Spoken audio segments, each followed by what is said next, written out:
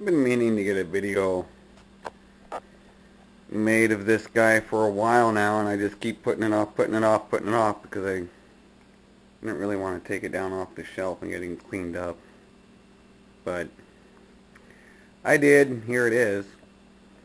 This is a quarter scale model of an 1880s bobsled. It was made by my father.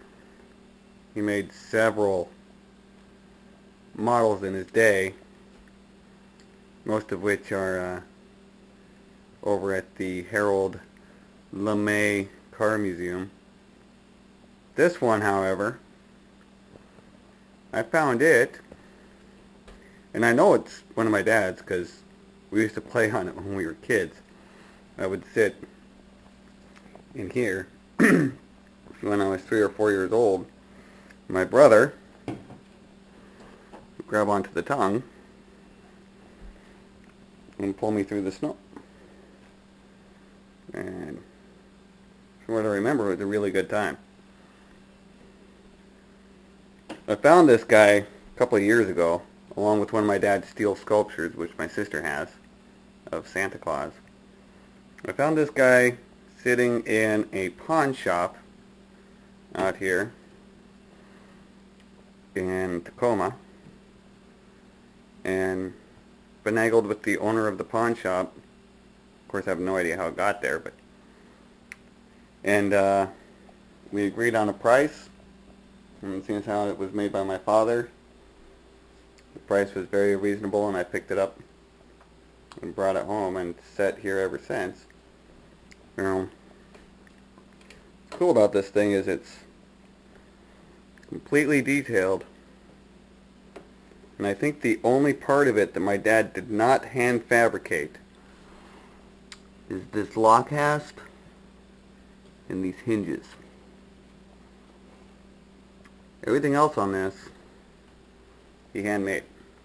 It was the same with all of his models. All the way down to the, the rivet by that same string and this string here. I don't know where that came from. That's been on there for, hell that's probably been on there for as long as I've been alive. I mean, the attention to the detail in this thing is just, I mean, it's astounding. And if you look at, if you can find one a real one, real bobsled sitting in a museum somewhere, something like that, compare it to this, they're identical. The only difference being is this one, as you can see by the soda can, is quarter scale.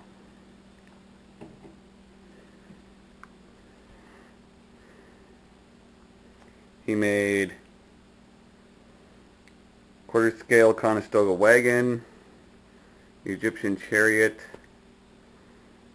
Um, his biggest model that my dad ever made was, if you can believe it, a quarter scale Victorian mansion that was 20 feet long, was 10 feet wide, and a full story and a half tall. And we carried it around on an old flatbed trailer to shows, and it was pretty cool mild flop that one was because everybody thought it was a dollhouse, which of course it wasn't. He made two quarter scale log cabins, one of which I believe was destroyed, and the other one is still over at the Harold LeMay Car Museum. I was there just the other day, in fact.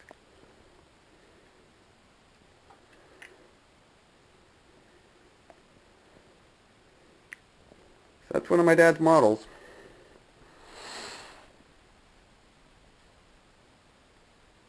I think he made this one back in, I'd say the 1970, 71, 72, somewhere in there probably is when this one was made.